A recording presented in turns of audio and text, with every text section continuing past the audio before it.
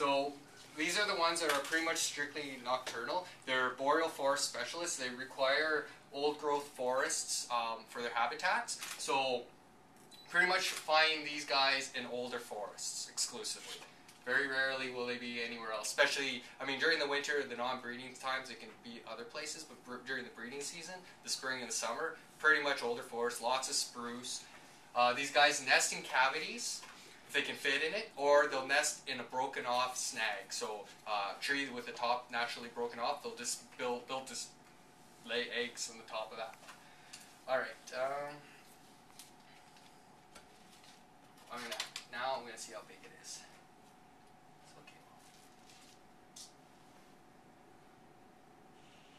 So what I'm doing here is just taking the wing length because.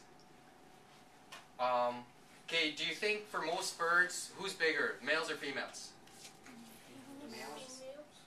Okay, uh, like say a chickadee, what's bigger, male or the female? Male. Male, yeah. And most bird songbirds, the males are bigger than the females. Not by much, just by a little bit. But for raptors, things like owls and hawks and eagles, falcons, the females are actually bigger than the males. Now, what I'm doing is just taking a wing length to see how much bigger this one is. And I might need Chris's help here. Oh, that's great. Chris is going to measure a wing length. So, we'll just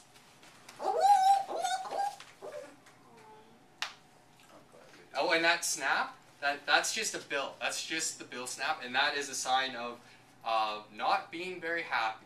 Um, I need a bigger ruler. I'll just measure it off and then um, add on whatever.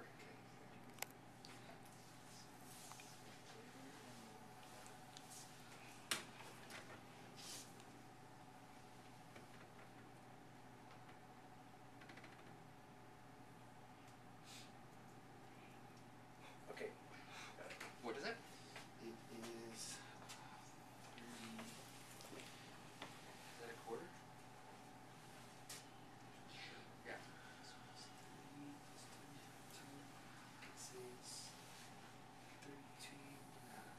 So, Three hundred and twenty-five. okay, can you write that down? in The wing? So this is a female. Uh, just by the wing. Normally I would weigh it as well, but I don't. My scale doesn't go this big. okay. Um, the next thing I want to do is try to figure out how old the owl is.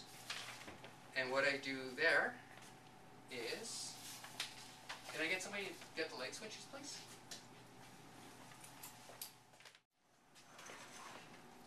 Can everybody see the pink in the wing?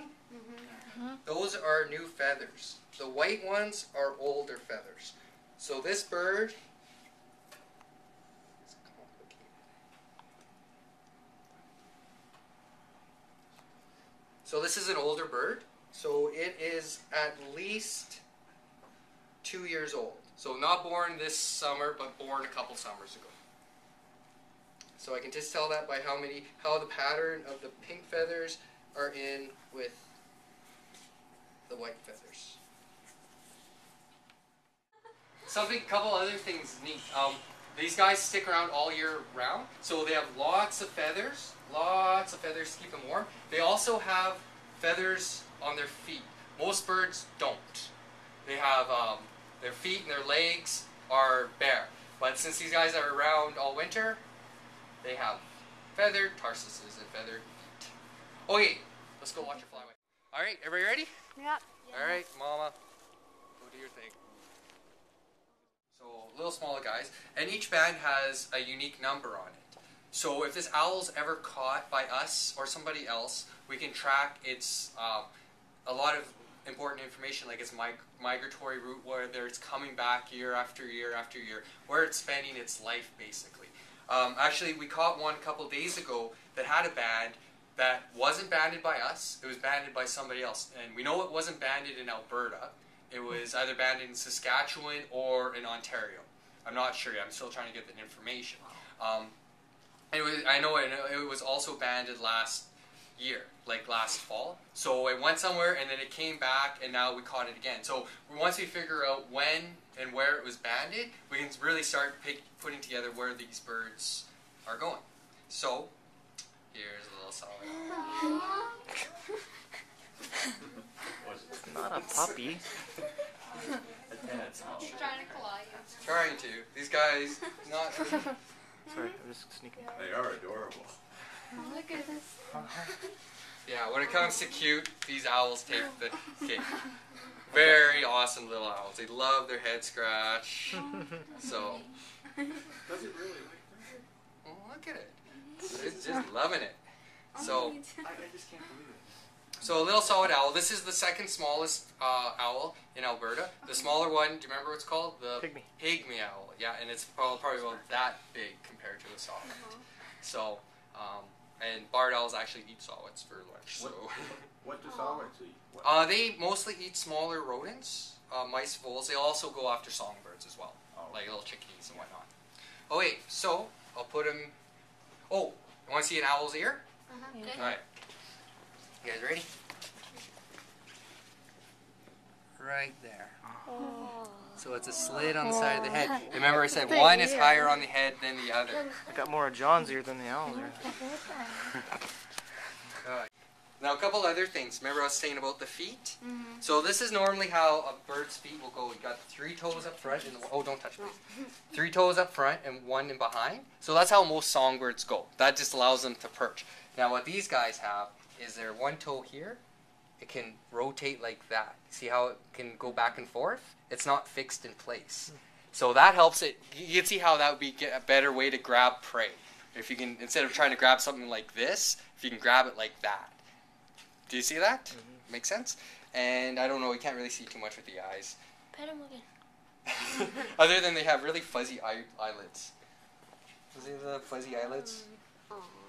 So, Looks like he got beaten You guys scratches the head out. No, no, um, this is actually a lot longer than we'll keep a bird. Like, this, remember, this is a wild animal. It's got places to go, things to do. Doing, I'm just taking a little more time to show you guys and really appreciate what these birds are like up close. Normally, if I'm here by myself, I'd have this bird banded, all my measurements, out on its way in a minute.